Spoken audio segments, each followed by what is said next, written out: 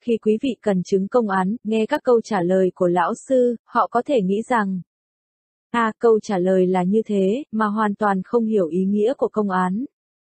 Điều này làm tổn thương việc tu tập của họ, thay vì họ đi đến tự chứng ngộ và trình bày nó với lão sư, họ lại nhớ đến những câu trả lời của lão sư, câu này có thể chấp nhận được câu kia thì không?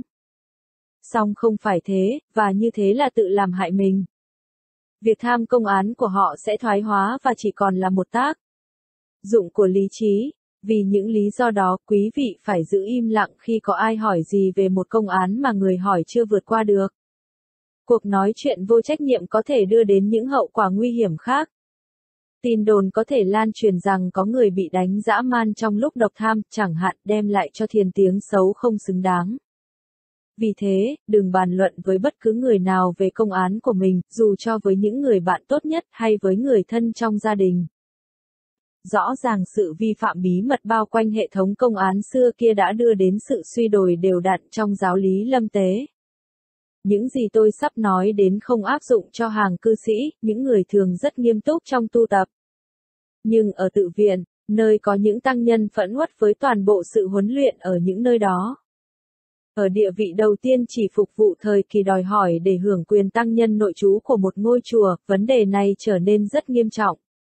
Ở các tự viện mà giới luật còn khiếm khuyết một tăng nhân lớn tuổi hơn thường hỏi một tăng nhân nhỏ tuổi. Chú đang tham công án gì thế? Khi được nói cho biết người lớn tuổi hơn sẽ hỏi. Chú có hiểu nó không? Không, được rồi, tôi sẽ bảo chú câu trả lời, người tăng nhân lớn tuổi hơn nói. Và đáp lại chú phải mua cho tôi một ít bánh ngọt nhé. Ngoặc kép, vị lão sư có thể nói câu trả lời ấy chân xác hay không, nhưng vì một lý do nào đó, ông vô tình có thể chấp nhận câu trả lời không phải của tăng nhân ấy. Sự tu tập này có thể không có gì nguy hiểm đặc biệt nếu một tăng nhân như thế chỉ ở vài ba năm trong tự viện trước khi trở thành tăng nhân nội trú trong chùa. Khi không đòi hỏi tăng nhân ấy nhiệm vụ đánh giá sự giác ngộ của người khác, nhưng điều có thể xảy ra là không có sự khai mở nào cả khi tăng nhân ấy hoàn tất sự tu tập tối thiểu để mình có thể ở lại tự viện có thể đến 8 hoặc 10 năm. Thông qua toàn bộ hệ thống công án với những câu trả lời không phải của mình. Cuối cùng, theo thông lệ trong phái lâm tế, khi một người hoàn tất toàn bộ các công án sẽ được nhận danh hiệu là sư. Như thế một người không có sự hiểu biết chân chánh trở thành đủ phẩm cách hướng dẫn người khác. Sự tu hành gian trá này đã ngấm ngầm phá hoại giáo lý thiền.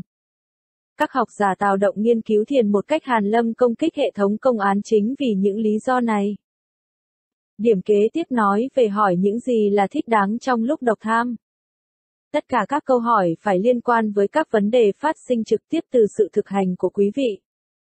Điều này đương nhiên loại bỏ các vấn đề cá nhân riêng tư quý vị có thể thấy rằng sự riêng tư trong độc tham đem lại cơ hội tuyệt hảo để bàn đến các vấn đề cá nhân.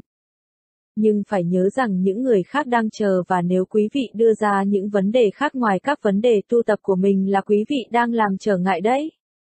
Đúng ra quý vị có thể hỏi về cái bao tử của mình, chẳng hạn nếu nó cồn cào hoặc cái răng đau đến nỗi không thể ăn được hoặc về các ma cảnh quý vị có thể đang trải qua. Tuy nhiên, quý vị không nên hỏi về giáo lý Phật giáo hay triết học tỷ giáo hoặc sự khác biệt giữa kinh này và kinh khác. Quý vị có thể hỏi bất cứ điều gì chừng nào nó còn phát xuất trực tiếp từ việc thực hành của quý vị. Thủ tục đối với một học viên mới là biếu tiền mua nhang cho vị lão sư trước khi vào độc tham.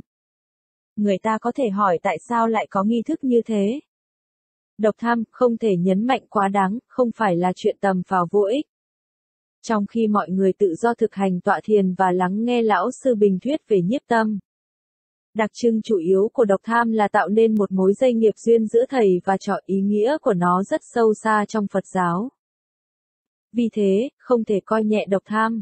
Hơn nữa, vì những gì diễn ra giữa lão sư và môn sinh trong độc tham có liên hệ với các vấn đề về bản tánh sâu xa và tối thượng, ở đó người ta phải nói sự thật. Trong những cuộc hội họp công cộng thường người ta rất ngại nói những điều làm phật ý người khác nhưng trong độc tham không thể như thế được vì chân lý tuyệt đối luôn luôn phải chiếm ưu thế. Vì những lý do này, những nghi thức đã được thiết lập không thể xem nhẹ được. Mặc lễ phục vào độc tham là đúng, nhưng ngày nay người ta không cố chấp việc ấy, quý vị có thể mặc bất cứ thứ gì thấy thích hợp là được. Khi được báo cho biết sắp độc tham, quý vị hãy sắp hàng phía sau cái chuông bên ngoài phòng tọa thiền. Khi đến lượt mình nghe tiếng chuông tay của tôi, hãy gõ vào cái chuông trước mặt quý vị hai lần và đến phòng này. Quý vị không nên chạy thốc vào vì như thế sẽ gây bối rối và quý vị sẽ không ở trong một tâm thái có lợi cho độc tham. Quý vị cũng không nên đi thơ thẩn vào vì có những người khác đang chờ. Theo tục lệ, đầu tiên quý vị lại ba lại ở ngưỡng cửa rồi lại ba lại trước lão sư, và rồi lại ba lại nữa ở lối ra khi quý vị bước ra, nhưng bây giờ người ta giản lược chỉ còn ba lại tất cả mỗi lại ở mỗi nơi kể trên. Khi lại, chán của quý vị phải chạm nhẹ xuống thảm, hai bàn tay dơ ra phía trước đầu, lòng bàn tay ngửa lên. Rồi co hai cánh tay ở hai cùi trỏ, đưa hai bàn tay lên, lòng bàn tay ngửa quá đầu một tấc dáng điệu thọ nhận đôi bàn chân, những phần thấp nhất của thân Đức Phật tượng trưng cho sự khiêm tốn và sự tiếp nhận đầy lòng biết ơn đạo của Phật vào cuộc sống của mình. Trừ phi đã nhận chìm cái ta của mình, thì quý vị không thể làm được việc ấy. Hãy nhớ rằng vị lão sư không những chỉ là người thay mặt Phật mà thật sự ông đang đứng chỗ của Phật. Lại như thế thực ra là, quý vị đang bày tỏ lòng kính trọng Phật như chính người đang ngồi tại đó và kính trọng Pháp. Kế tiếp, hãy đến trước tôi cách khoảng 3-4 tấc và nói cho tôi biết môn tu tập của mình. Chỉ nói một cách đơn giản. Tôi đang đếm hơi thở, tôi đang tham công án, MU, hoặc tôi đang thực hành chỉ quán đả tọa. Hãy hỏi những câu ngắn gọn và đúng trọng tâm. Nếu có gì cần nói, tôi sẽ nói sau khi quý vị nói xong. Nhưng đừng vào làm phí thì giờ hỏi những điều vớ vẩn, hãy nhớ có những người khác đang chờ gặp tôi. Khi tôi dung cái chuông này là để quý vị tỏ dấu cúi đầu chào từ giã. Sau đó, nếu quý vị nhớ đến điều gì, hãy để đến lần đọc tham khác vì người kế tiếp đã sẵn sàng bước vào. Chấm, chỉ quán đả tọa, cho đến bây giờ quý vị vẫn còn đang tập trung vào hơi thở, đang cố gắng kinh nghiệm một cách sống động hơi hít vào chỉ là hơi hít vào và hơi thở ra chỉ là hơi thở ra. Từ giờ trở đi tôi muốn quý vị thực hành chỉ quán đả tọa. Tôi sẽ mô tả chi tiết ngay bây giờ. Không phải tôi cứ thích thay đổi nhanh chóng các bài tập đâu, tôi làm như thế để cống hiến quý mùi vị các phương pháp tập trung khác nhau.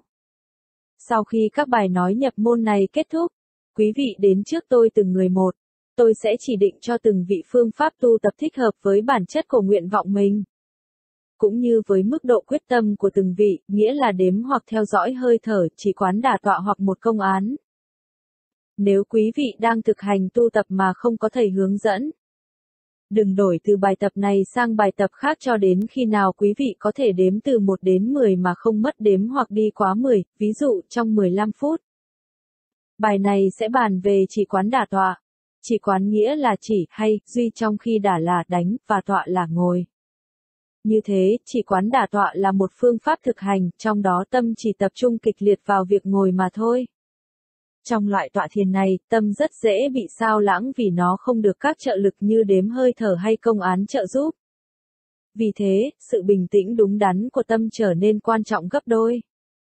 Bây giờ, trong chỉ quán đả tọa tâm không được vội vã xong đồng thời hãy cắm vững vàng hay đứng sừng sững như núi phú sĩ.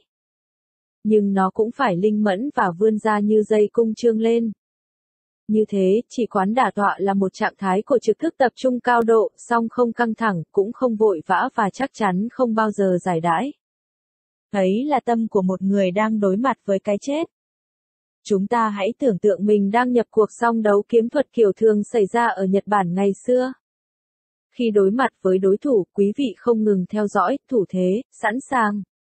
Nếu lơi lỏng sự cảnh giác dù chỉ giây phút thôi, quý vị sẽ bị hạ ngay một đám đông tụ tập để xem cuộc đấu. Vì không mù, nên quý vị thấy họ qua khóe mắt của mình, và vì không điếc nên quý vị nghe họ nói. Nhưng quý vị không nên để tâm mình bị các ấn tượng cảm giác ấy quyến rũ dù chỉ trong phút chốc. Trạng thái này không thể duy trì lâu được thực tế, quý vị không nên thực hành chỉ quán đả tọa hơn nửa giờ mỗi thời ngồi. Sau 30 phút, hãy đứng dậy đi vòng quanh theo lối kinh hành, rồi bắt đầu ngồi lại. Nếu thực, Hành đúng cách chỉ trong nửa giờ thôi, quý vị sẽ thoát mồ hôi, ngay cả trong mùa đông trong một căn phòng không nóng, vì sức nóng do sự tập trung cao độ sinh ra. Khi quý vị ngồi quá lâu tâm sẽ mất dần sinh lực thân sẽ mệt và các nỗ lực sẽ nhận được phần thưởng ít hơn là nếu quý vị hạn chế thời gian ngồi trong 30 phút. So với tay kiếm bất tài, một bậc kiếm sư sử dụng thanh kiếm không chút gắng sức. Nhưng không phải luôn luôn như thế, vì có lúc ông ta phải nỗ lực đến độ chót vì kỹ thuật chưa toàn hảo để cứu sinh mạng mình. Chỉ quán đả tọa cũng giống như vậy. Lúc mới bắt đầu không tránh được căng thẳng nhưng với kinh nghiệm chín mùi, sự căng thẳng này trở nên lơi ra xong vẫn ngồi với chú tâm đầy đủ. Giống như tay kiếm bậc thầy tuốt kiếm vung lên không chút gắng sức và tiến công một cách giản dị, chỉ quán đả tọa cũng thích hợp với cái ngồi không chút gắng sức, linh mẫn và chú tâm y như vậy. Nhưng đừng tưởng việc ngồi như thế có thể đạt được dễ dàng, dù chỉ trong một phút thôi mà không có sự luyện tập lâu và thành khẩn. Đến đây chấm dứt bài nói về chỉ quán đả tọa. Chấm, ngụ ngôn diễn nhã đạt đa. Trong nửa sau của bài này tôi sẽ nói về câu chuyện diễn nhã đạt đa trích từ Kinh Lăng Nghiêm. Đây là câu chuyện ngụ ngôn hay phi thường. Tôi cam đoan rằng nếu quý vị suy nghĩ kỹ, nó sẽ soi sáng nhiều điểm còn u tối trong Phật giáo. Người ta bảo rằng chuyện này xảy ra vào thời Đức Phật. Chuyện có thật hay chỉ là truyền thuyết tôi không thể nói được. Dẫu sao, Diện Nhã Đạt Đa vẫn là một cô gái đẹp không thích gì hơn là ngắm mình trong gương mỗi sáng. Một hôm khi soi gương, nàng thấy mình không có đầu. Tại sao vào buổi sáng đặc biệt này nàng lại không có đầu, kinh không nói. Dù sao, nỗi kích động lớn đến nỗi nàng hóa điên, chạy quanh hỏi xem ai đã lấy mất đầu mình. Ai lấy đầu tôi? Đầu tôi đâu rồi? Nếu không có đầu tôi chết mất. Rồi nàng khóc mặc dù mọi người bảo nàng rằng, đừng có ngốc đầu cô trên cổ cô đấy chứ có mất bao giờ đâu. Nhưng nàng không tin, không, không đúng, không, không đúng, phải có người nào đó đã lấy mất đầu tôi. Nàng kêu lên, tiếp tục tìm kiếm điên cuồng. Cuối cùng, các bạn nàng tin nàng điên, lôi nàng về nhà, buộc nàng vào gốc cột đề phòng nàng tự làm hại mình. Có thể so sánh sự trói buộc này với việc tọa thiền. Với sự bất động của thân, tâm sẽ đạt một độ yên tĩnh nào đó. Và trong khi vẫn còn rối loạn, tâm của diễn nhã đạt đa cứ tin rằng mình không có đầu thì lúc bấy giờ thân tránh được sự tiêu tán năng lực. Các bạn thân của nàng từ từ thuyết phục nàng rằng nàng luôn luôn có đầu, và dần dần nàng tin một nửa. Tiềm thức của nàng bắt đầu chấp nhận rằng có lẽ mình nghĩ lầm là mình bị mất đầu. Có thể so sánh việc diễn nhã đạt đa chấp nhận lời tái khẳng định của các bạn nàng với việc nghe vị lão sư thuyết pháp. Lúc đầu, những lời thuyết pháp khó hiểu nhưng lắng nghe nhiều thì từng lời sẽ chìm vào tiềm thức rồi quý vị sẽ đi đến chỗ bắt đầu nghĩ. Điều này có thực đúng như vậy không? Chấm, chấm, chấm, tôi ngờ, vâng, nó phải thế. Ngoặc kép, bỗng một người trong các bạn nàng cốc vào đầu nàng một cái thật mạnh, vì đau và kích động nàng kêu. Ôi, cha, đó, đầu mi đó. Bạn nàng bảo và tức khắc diễn nhã đạt đa thấy mình đã lầm khi nghĩ rằng mình bị mất đầu, mà thực tế thì lúc nào mình cũng có đầu. Cũng thế, cái cốc trong tọa thiền cũng có giá trị tối đa như vậy. Đương nhiên là phải đúng lúc nếu sớm quá sẽ không có hiệu quả về mặt vật lý được cây kích trượng hoặc lời nói của một bậc thầy có kiến thức làm cho giật này mình có thể đưa đến chứng ngộ tự. Tánh, không phải chỉ cây kích trượng có giá trị thúc đẩy quý vị tiến tới mà ngay khi quý vị đã đạt đến một giai đoạn quyết định trong tọa thiền thì một cái đánh thật mạnh cũng có thể đẩy tâm quý vị vào. Nhận thức chân tánh nói cách khác giác ngộ, khi sự kiện này xảy ra với Diễn Nhã Đạt Đa, nàng quá phấn khởi, chạy quanh kêu lên. À, tôi có đầu rồi. Cuối cùng tôi đã có đầu rồi, sung sướng quá. Ngoặc kép, đây là sự khoái lạc của kiến tánh. Nếu kinh nghiệm là chân thực thì quý vị sẽ không ngủ được vài ba đêm vì vui. song nó lại là một trạng thái nửa tình nửa điên.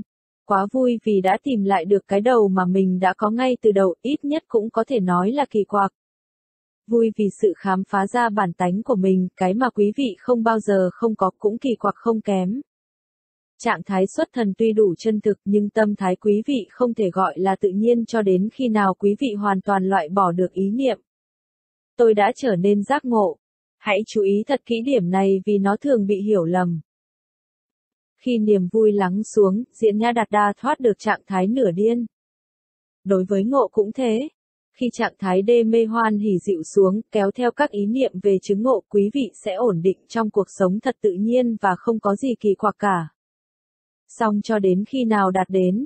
Điểm này, quý vị không thể sống hài hòa với chung quanh hoặc tiếp tục tu dưỡng tinh thần thực sự được.